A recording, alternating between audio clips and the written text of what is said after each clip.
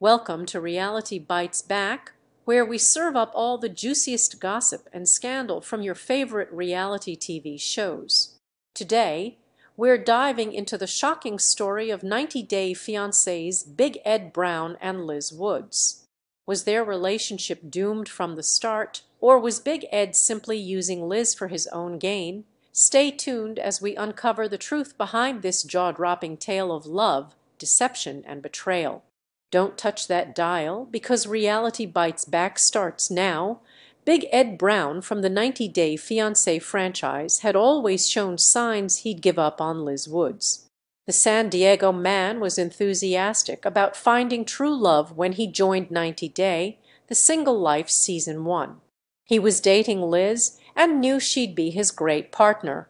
Unfortunately, things didn't go as Ed anticipated. He tried his best to build a stable relationship, but eventually broke up with Liz. A year later, Ed returned to the show. He dated a few women, but ultimately reconciled with Liz because of his strong chemistry with her. Ed and Liz's 28-year age gap became a big problem in their relationship. In 2022, Ed got jealous of Liz and failed to trust her. At the same time, Liz struggled with her emotions and couldn't build a decent relationship with Ed's family. In 2023, the couple moved away from San Diego and settled in Arkansas. They planned for their wedding and sought therapy in 90 Day, the last resort.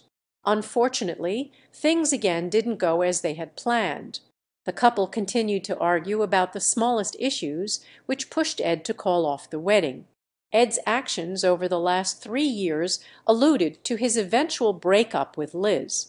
He didn't care much about her, resulting in their unstable relationship. One of the key factors contributing to the instability was the frequency of their breakups. Over just three years, Ed and Liz parted ways over a dozen times, a testament to the tumultuous nature of their relationship. From their first split in their debut season to when Ed called off the wedding, he had broken up with her nearly 15 times. Ed should have avoided Liz if he wanted to break up with her.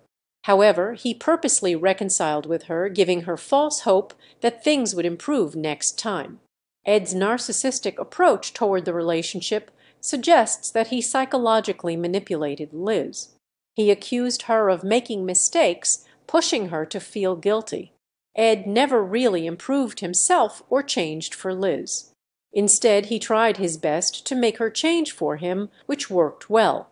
The breakups impacted Liz psychologically, which may be why she could not break free from their relationship. TLC star Ed disappointed Liz throughout their three-year relationship. He asked her to achieve unrealistic goals just to keep him happy.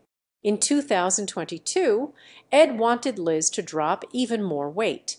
He made her feel insecure about her body and asked her to look like a stereotypical model when she was already incredibly fit and beautiful.